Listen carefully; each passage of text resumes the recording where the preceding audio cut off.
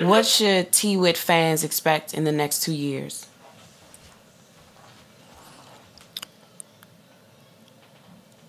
Some of the greatest music they ever heard.